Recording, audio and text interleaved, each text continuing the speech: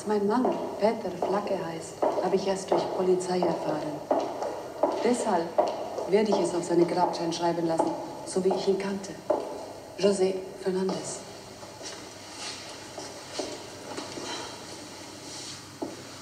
Haben Sie niemals Leute aus seinem vorherigen Leben kennengelernt? Nicht wirklich. José hat gesagt, das sind nicht die richtigen Leute für das, was er will mit mir. Eine Familie und Kinder haben. Entschuldigen Sie, Frau Fernandes. Ihr Mann liegt aufgebahrt. Wir sind soweit. Bitte.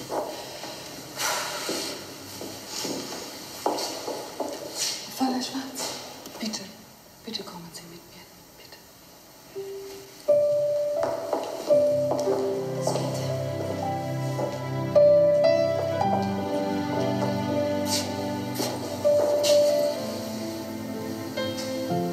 Haben Sie meinen Mann eigentlich gekannt?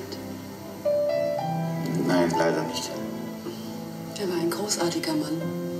Ich habe ihn sehr geliebt.